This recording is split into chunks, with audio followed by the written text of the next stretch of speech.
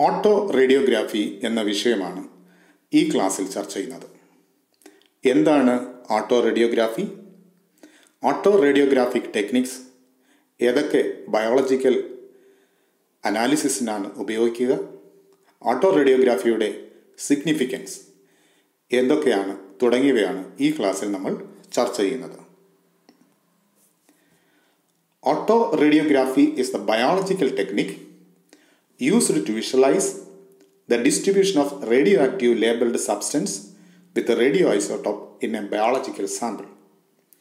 ഒരു ബയോളജിക്കൽ സാമ്പിളിൽ radio active ഐസോട്ടോപ്പിന്റെ സാന്നിധ്യം കണ്ടെത്തുന്ന ടെക്നിക്കിനെയാണ് അനാലിറ്റിക്കൽ ടെക്നിക്കിനെയാണ് ഓട്ടോ റേഡിയോഗ്രാഫി എന്ന് പറയുന്നത് it is a method by which a radioactive material can be localised within a particular tissue cell cell organelles or even biomolecules ഈ ഓട്ടോ റേഡിയോഗ്രാഫി എന്ന മെത്തേഡ് വഴി ഏതെങ്കിലും ഒരു കോശത്തിലോ ഒരു കലയിലോ അല്ലെങ്കിൽ ഏതെങ്കിലും ഒരു അവയവത്തിലോ നമ്മൾ ഉൾക്കൊള്ളിച്ചിരിക്കുന്ന അല്ലെങ്കിൽ ഉൾക്കൊണ്ടിരുന്ന റേഡിയോഗ്രാഫിക് പ്രോപ്പർട്ടി അല്ലെങ്കിൽ റേഡിയോ ആക്റ്റീവ് പ്രോപ്പർട്ടി കണ്ടെത്താൻ ഓട്ടോ റേഡിയോഗ്രാഫി എന്ന ടെക്നിക് ഉപയോഗിക്കുന്നു. It is very much sensitive technique. And is being used in a wide variety of biological experiments സാധാരണയിൽ നിന്ന് വ്യത്യസ്തമായി വളരെ കെയർഫുള്ളായിട്ട് ചെയ്യേണ്ടുന്ന ഒരു technical analytical ടെക്നിക്കാണ് autoradiography autoradiography although used to locate the radioactive substances it can be also be used for quantitative estimation by densitometer autoradiographic technique വഴി radio active സബ്സിഡ്സിന്റെ സാന്നിധ്യം കണ്ടെത്തുന്നതോടൊപ്പം തന്നെ ക്വാണ്ടിറ്റേറ്റീവ് എസ്റ്റിമേഷൻ അതായത് റേഡിയോ ആക്റ്റീവ് മെറ്റീരിയലിന്റെ അളവ് എത്രത്തോളം ഉണ്ടെന്നും ഓട്ടോ റേഡിയോഗ്രാഫിക് ടെക്നിക്ക് വഴി ഡെൻസിറ്റോമീറ്റർ എന്ന ഉപകരണത്തിന്റെ സഹായത്താൽ അനലൈസ് ചെയ്യാൻ സാധിക്കും. ഇനി ഇതിന്റെ പ്രിൻസിപ്പിൾ നോക്കാം. Autoradiography is based upon the ability of radioactive substances to expose to photographic film by ionizing it. ഓട്ടോ റേഡിയോഗ്രാഫിയുടെ അടിസ്ഥാനപരമായിട്ടുള്ള ടെക്നിക് എന്ന് പറയുന്നത് റേഡിയോ ആക്റ്റീവ് സബ്സ്റ്റൻസുകൾക്ക് ഫോട്ടോഗ്രാഫിക് ഫിലിമിൽ ചേഞ്ചസ് ഉണ്ടാക്കാൻ സാധിക്കും എന്നുള്ളതാണ് അതായത് മുൻകാലങ്ങളിൽ ഫോട്ടോഗ്രാഫുകൾ എടുത്തിരുന്നത് ഫോട്ടോഗ്രാഫിക് ഫിലിമിന്റെ സഹായത്താലാണ് ഇപ്പോൾ നമ്മൾ ഡിജിറ്റലായിട്ടാണ് ഫോട്ടോ എടുക്കുക. അതായത് ഫോട്ടോഗ്രാഫിക് ഫിലിമിൽ പ്രകാശം പതിക്കുമ്പോൾ പ്രകാശം പതിക്കുന്ന ഭാഗം അയണൈസ് ചെയ്യപ്പെടുകയും അത് പിന്നീട് ഡെവലപ്പ് ചെയ്ത് നെഗറ്റീവ് എന്ന ഫിലിമാക്കി മാറ്റുകയും അതിൽ നിന്നും പ്രിന്റ് എടുക്കുകയും ചെയ്യുന്നതാണ് മുൻകാലത്തെ ഫോട്ടോ എടുക്കുന്ന രീതി. അതുപോലെ ഇവിടെ പ്രകാശത്തിന് പകരം റേഡിയോ ആക്റ്റീവ് സബ്സ്റ്റൻസിന് അല്ലെങ്കിൽ റേഡിയേഷനുകൾക്ക് ഫോട്ടോഗ്രാഫിക് ഫിലിമിൽ അതിനെ അയണൈസ് ചെയ്യാൻ ഉള്ള പ്രോപ്പർട്ടിയാണ് ഇവിടെ അതിന്റെ പ്രിൻസിപ്പിളായി വർക്ക് ചെയ്യുന്നത്. In this technique a radioactive substance is put in direct contact with a thick layer of photographic emulsion thickness of about five to fifty millimetre having gelatin substances and silver halide crystals ഒരു തിക്കായിട്ടുള്ള ഒരു പ്രത്യേക കനത്തിലുള്ള അഞ്ച് മുതൽ അൻപത് millimetre കനമുള്ള ഒരു photographic emulsion photographic ഫിലിമിനകത്ത് റേഡിയോ ആക്റ്റീവ് സബ്സ്റ്റൻസിനെ കോണ്ടാക്ട് ചെയ്യിക്കുന്നു. അതുവഴി റേഡിയോ ആക്ടിവിറ്റി അളക്കുക എന്നുള്ളതാണ് auto റേഡിയോഗ്രാഫിയുടെ principle this emulsion differ from the standard photographic film in terms of having higher ratio of silver halide to gelatin and small size of grain സാധാരണ photographic ഫിലിമിൽ നിന്ന് വ്യത്യസ്തമായിട്ട് silver halide gelatin small grain size തുടങ്ങിയവയായിരിക്കും auto റേഡിയോഗ്രാഫിയിൽ ഉപയോഗിക്കുന്ന photographic ഫിലിമിന്റെ പ്രത്യേകത എന്ന് പറയുന്നത്. It is then left in dark for several days for proper exposure നമ്മളൊരു പദാർത്ഥത്തിൽ അല്ലെങ്കിൽ ഒരു ബയോളജിക്കൽ സാമ്പിളിന്റെ റേഡിയോ ആക്ടിവിറ്റി കണ്ടെത്താനായിട്ട് ഇത്തരത്തിലുള്ള ടെക്നിക് ഉപയോഗിക്കുമ്പോൾ ഇങ്ങനെ പ്രിപ്പയർ പ്രിപ്പയർ ചെയ്ത് വെക്കുന്ന സാമ്പിൾസ് റേഡിയോഗ്രാഫിക് ടെക്നിക്കിൽ കണ്ടെത്താൻ വേണ്ടിയിട്ട് നമ്മൾ ഫോട്ടോഗ്രാഫിക് ഫിലിമിലെ ദിവസങ്ങളോ അല്ലെങ്കിൽ ആഴ്ചകളോ അതിനെ എക്സ്പോഷർ ചെയ്യുന്നു. The silver halide crystals are exposed to the radiation which chemically convert silver halide to metallic silver giving dark band അതായത് നമ്മളൊരു ബയോളജിക്കൽ സാമ്പിളിൽ നമ്മുടെ ഒരു കോശത്തിലാകാം ഒരു ടിഷ്യൂലാകാം ഒരു ഓർഗനിലാകാം അതിൽ അടങ്ങിയിരിക്കുന്ന റേഡിയോ ആക്ടിവിറ്റി കണ്ടെത്താനായിട്ട് നമ്മൾ ടിഷ്യൂവിനെ അല്ലെങ്കിൽ സാമ്പിളിനെ ഫോട്ടോഗ്രാഫിക് ഫിലിമുമായിട്ട് എക്സ്പോഷർ ചെയ്യുമ്പോൾ അല്ലെങ്കിൽ അതുമായിട്ട് ബന്ധിപ്പിക്കുമ്പോൾ ഇങ്ങനെ റേഡിയേഷനുകൾ അല്ലെങ്കിൽ കോശങ്ങളിൽ അടങ്ങിയിരിക്കുന്ന റേഡിയേഷനുകൾ ഫോട്ടോഗ്രാഫിക് ഫിലിമിലുള്ള സിൽവർ ഹാലൈഡിനെ മെറ്റാലിക് സിൽവർ ആയിട്ട് കൺവേർട്ട് ചെയ്തുകൊണ്ട് റേഡിയേഷന്റെ സാന്നിധ്യം കണ്ടെത്താൻ സഹായിക്കും. ഇങ്ങനെ രൂപപ്പെടുന്ന മെറ്റാലിക് സിൽവർ ഫോട്ടോഗ്രാഫിക് ഫിലിമിൽ ഡാർക്ക് ബാൻഡുകളായിട്ടാണ് രൂപപ്പെടുന്നത്. The resulting radiography is viewed by electron microscope pre flashed screen intensifying screen electrophoresis digital scanners etcetera ഇങ്ങനെ ഒരു പദാർത്ഥത്തിൽ അടങ്ങിയിരിക്കുന്ന റേഡിയോ ആക്റ്റീവ് മെറ്റീരിയലിന്റെ സാന്നിധ്യം നമ്മൾ ഫോട്ടോഗ്രാഫിക് ഫിലിമിലൂടെ കണ്ടെത്തുകയും ഫോട്ടോഗ്രാഫിക് ഫിലിമിൽ രൂപപ്പെടുന്ന കറുത്ത നിറത്തിലുള്ള ബാൻഡുകൾ പിന്നീട് ഡെവലപ്പ് ചെയ്ത് നമ്മൾ ഇലക്ട്രോൺ മൈക്രോസ്കോപ്പിലൂടെയോ pre flashed സ്ക്രീനിലൂടെയോ intensifying screen electrophoresis digital scanner തുടങ്ങിയവയിലൂടെ observe ചെയ്ത് റേഡിയോ ആക്ടിവിറ്റി കണ്ടെത്തുകയും ചെയ്യുന്നു. ഇനി ഇതിന്റെ പ്രൊസീജിയർ. എങ്ങനെയാണ് റേഡിയോ ആക്റ്റീവ് മെറ്റീരിയലിന്റെ സാന്നിധ്യം ഓട്ടോ റേഡിയോഗ്രാഫിയിൽ കണ്ടെത്തുന്നത് എന്ന് നോക്കാം. Living cells are briefly exposed to a pulse of specific radio active compound നമ്മൾ ഏത് പദാർത്ഥത്തിലല്ല ഏത് കോശത്തിലാണോ ഏത് ടിഷ്യൂവിലാണോ റേഡിയോ ആക്ടിവിറ്റി കണ്ടെത്തേണ്ടത് എന്നുണ്ടെങ്കിൽ ആ മെറ്റീരിയലിനെ ഒരു നിശ്ചിത അളവിലുള്ള റേഡിയോ ആക്റ്റീവ് സബ്സ്റ്റൻസുമായിട്ട് ട്രീറ്റ് ചെയ്യുന്നു. The tissue is left for a variable time ടിഷ്യൂവുമായിട്ട് പ്രവർത്തിക്കാൻ റേഡിയോ ആക്റ്റീവ് മെറ്റീരിയലിനെ ഒരു നിശ്ചിത സമയം അനുവദിച്ചു കൊടുക്കുന്നു. Samples are taken fixed and processed for light or electron microscopy ഇങ്ങനെ റേഡിയോ ആക്റ്റീവ് മെറ്റീരിയൽ കടത്തിവെച്ച കോശം അവയവം തുടങ്ങിയവ ഒരു നിശ്ചിത ദിവസത്തിന് ശേഷം നമ്മൾ പുറത്തെടുക്കുകയോ അല്ലെങ്കിൽ അതിൽ അടങ്ങിയിരിക്കുന്ന റേഡിയോ ആക്റ്റീവ് സബ്സ്റ്റൻസിനെ അനലൈസ് ചെയ്യാനായിട്ട് ലൈറ്റ് ഇലക്ട്രോൺ മൈക്രോസ്കോപ്പിക് സാമ്പിൾ അല്ലെങ്കിൽ ടെക്നിക് ഉപയോഗിക്കുകയോ ചെയ്യുന്നു. പുറത്ത് എടുത്ത് നമ്മൾ പരിശോധിക്കുന്ന കോശങ്ങളാണെന്നുണ്ടെങ്കിൽ സെക്ഷൻസ് അതായത് കോശങ്ങൾ സെക്ഷൻ എടുത്താണ് പരിശോധിക്കുക. Sections are cut and overlaid with a thin film of photographic emulsion ഇവിടെ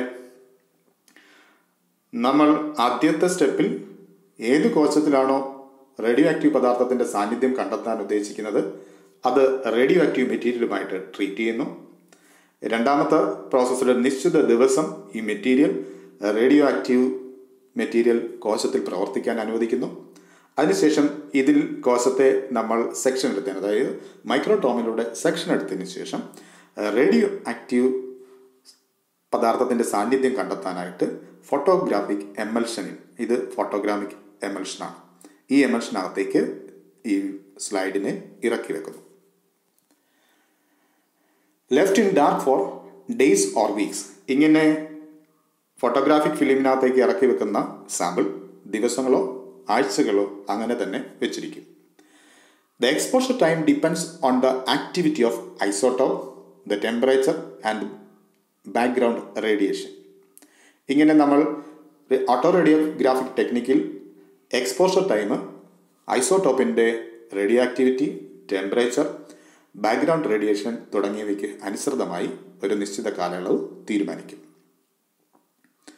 This will produce with time a contaminating increase in background silver grains in the film the photographic emulsion is developed പിന്നീട് ഈ radio auto radiography ടെക്നിക്കിൽ റേഡിയേഷനുകൾ കണ്ടെത്താനായിട്ട് photographic ഫിലിമുകൾ develop ചെയ്തെടുക്കുകയാണ് ചെയ്യുക. Counter staining example with toluidine blue shows the histological details of the tissue അതിനുശേഷം പലപ്പോഴും ഇതിനെ കൗണ്ടർ സ്റ്റെയിൻ ചെയ്യാറുണ്ട്. അതായത് കോശങ്ങളിൽ റേഡിയോ ആക്റ്റീവ് പദാർത്ഥത്തിന്റെ സാന്നിധ്യം കണ്ടെത്താനായിട്ട് കോശങ്ങളുടെ ഘടന തിരിച്ചറിയാനായിട്ട് കോശത്തിനുള്ളിലുള്ള ഭാഗങ്ങൾ സ്റ്റെയിൻ ചെയ്യാനായിട്ട് ടൊളുവിൻ ബ്ലൂ പോലെയുള്ള സ്റ്റെയിൻ പലപ്പോഴും ഉപയോഗിക്കാറുണ്ട്. The staining must be able to penetrate but not to have adverse effect on the emulsion ഇമൽഷനകത്ത് പ്രശ്നമുണ്ടാക്കാതെ ഉള്ള സ്റ്റെയിനുകളായിരിക്കും സ്റ്റെയിനിങ് ടെക്നിക്കലിൽ ഉപയോഗിക്കുക. Alternately pre staining of the entire block of tissue can be done പലപ്പോഴും section എടുക്കാതെ തന്നെ ടിഷ്യൂ പൂർണമായിട്ടും ഒരു ബ്ലോക്ക് സ്റ്റെയിൻ ചെയ്ത് ഓട്ടോ റേഡിയോഗ്രാഫിക് അനാലിസിസ് നടത്താറുണ്ട്. Example with osmium or plastic section coated with stripping film or dripping emulsion as in papers by മക് ഗോഷി and ഗ്രൗഡ്സ് before exposure to the photographic emulsion അതായത് നമ്മൾ ഓട്ടോ റേഡിയോഗ്രാഫി അല്ലെങ്കിൽ radiation കടത്തിവിട്ട കോശങ്ങൾ അതുപോലെ തന്നെ ബ്ലോക്കാക്കി രൂപപ്പെടുത്തുകയും ആ ബ്ലോക്കിനെ പൂർണമായിട്ടും സ്റ്റെയിൻ ചെയ്ത് വെക്കുകയും ചെയ്യുന്ന ടെക്നിക്ക് പലപ്പോഴും ഉപയോഗിക്കാറുണ്ട്. ഇങ്ങനെ ചെയ്യുന്നത് കൊണ്ട് ഇൻഡിവിജ്വൽ സ്ലൈഡ് പ്രിപ്പയർ ചെയ്യുന്നത് ഒഴിവാക്കാൻ പറ്റും. This avoid the need for individually staining each slide ഓരോ സ്ലൈഡും സെപ്പറേറ്റ് സ്റ്റെയിനിങ് ചെയ്യുന്നത് ഒഴിവാക്കാനായിട്ട് പൂർണമായിട്ടും ബ്ലോക്ക് സ്റ്റെയിൻ ചെയ്തതിന് ശേഷം അതിന്റെ സെക്ഷൻ എടുത്ത് പിന്നീട് ഫോട്ടോഗ്രാഫിക് ഫിലിമുമായിട്ട് കോണ്ടാക്റ്റിൽ വെക്കുന്ന ടെക്നിക്കും ഓട്ടോ റേഡിയോഗ്രാഫിയിൽ ഉപയോഗിക്കുന്നുണ്ട്. ഇത് ഓരോ സ്ലൈഡും സ്റ്റെയിൻ ചെയ്യുന്നത് ഒഴിവാക്കാൻ സാധിക്കും. It is not necessary to cover slip these slides ഇങ്ങനെ ഓട്ടോ ഗ്രാഫി നടത്താനായിട്ട് ഉപയോഗിക്കുന്ന സ്ലൈഡുകൾക്ക് cover slip ഉപയോഗിക്കേണ്ടതായിട്ടില്ല. The position of silver grains in the sample is observed by light or electron microscopy The grains are in the different planes of focus in the emulsion overlaying the tissue section. ഇങ്ങനെ photographic film വഴി നമ്മൾ തയ്യാറാക്കി എടുക്കുന്ന മെറ്റീരിയലുകൾ electron മൈക്രോസ്കോപ്പിന്റെയോ light മൈക്രോസ്കോപ്പിന്റെയോ സഹായത്താൽ നമുക്ക് observe ചെയ്യാൻ കഴിയും. Often oil with hundred X objective lens is used for detailed observation with the light microscope hundred X oil my objective lens ഉപയോഗിച്ചും നമുക്ക് ഓട്ടോ റേഡിയോഗ്രാഫിക് ഫിലിമിലെ റേഡിയോഗ്രാഫിയുടെ സാന്നിധ്യം ഒബ്സർവ് ചെയ്യാവുന്നതാണ്. These auto radiographic graphs provide a permanent record ഇങ്ങനെ തയ്യാറാക്കുന്ന autographic ഫിലിമുകൾ നമുക്ക് പെർമനന്റ് സ്ലൈഡ് പോലെ പെർമനന്റ് റെക്കോർഡായിട്ട് ഉപയോഗിക്കാൻ പറ്റും. Full details on the bath of batch of emulsion used dates exposure time and condition should be kept for each experiment ഇങ്ങനെ auto radiography നടത്തുന്ന സ്ലൈഡിന്റെ ബാച്ച് ഏത് ബാച്ചിൽപ്പെട്ടതാണ് ഏത് എമൽഷനാണ് യൂസ് ചെയ്തത് അതിന്റെ ഡേറ്റ് എത്ര ദിവസം എക്സ്പോഷർ കൊടുത്തു തുടങ്ങിയവയെല്ലാം രേഖപ്പെടുത്തിക്കൊണ്ട് നമുക്ക് പെർമനന്റ് റെക്കോർഡുകൾ ഇത്തരം ഓട്ടോ റേഡിയോഗ്രാഫിയിൽ ഉണ്ടാക്കാൻ സാധിക്കും. ഇനി ഇതിന്റെ സിഗ്നിഫിക്കൻസ് എന്തൊക്കെ ആവശ്യങ്ങൾക്ക് വേണ്ടിയിട്ടാണ് ഓട്ടോ റേഡിയോഗ്രാഫി ഉപയോഗിക്കുക? അത് ഏതൊക്കെ ടെക്നിക്കിന് പ്രയോജനപ്പെടുന്നു എന്ന് നോക്കാം. ഒന്ന് to find out and investigate the various properties of D N A D N എയുടെ പല പ്രോപ്പർട്ടി കണ്ടെത്താനായിട്ട്. ഡി എൻ എക്ക് പല രൂപത്തിലുണ്ട്. പല രൂപത്തിലാണ് ഡി എൻ എ കാണപ്പെടുക. എ ഡി എൻ എ ഉണ്ട് ഇസഡ് ഡി എൻ എ ഉണ്ട്. അങ്ങനെ ഡി എൻ എയുടെ പ്രോപ്പർട്ടി പ്രത്യേകതകൾ എന്തെല്ലാമാണെന്ന് കണ്ടുപിടിക്കാനായിട്ട് നമുക്ക് ഓട്ടോ റേഡിയോഗ്രാഫിക് ടെക്നിക്ക് ഉപയോഗിക്കാം. അതുപോലെ ഡി എൻ എ എക്സ്പ്രഷൻ നടക്കുമ്പോൾ ഡി എൻ എക്ക് ഉണ്ടാകുന്ന ചേഞ്ചസ് മനസ്സിലാക്കാൻ ഓട്ടോ റേഡിയോഗ്രാഫി ഉപയോഗിക്കുന്നു.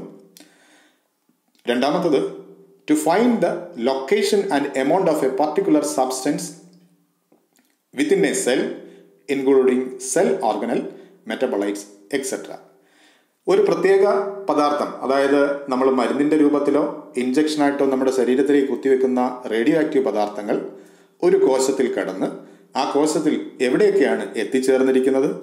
കോശത്തിനകത്ത് ഏത് ഓർഗനിലാണ് ഇത് എത്തിച്ചേർന്ന് പ്രവർത്തനം? ഒരു പ്രത്യേക ഡ്രഗ് ആണെങ്കിൽ ആ പ്രത്യേക ഡ്രഗിന്റെ കൂടെയായിരിക്കും റേഡിയോ ആക്റ്റീവ് മെറ്റീരിയൽ കുത്തിവെക്കുക. അങ്ങനെ ഈ ഡ്രഗ് എങ്ങനെ കോശങ്ങളിലേക്ക് ഏതൊക്കെ മാർഗത്തിലൂടെ കോശങ്ങളിൽ എത്തിച്ചേരുന്നു?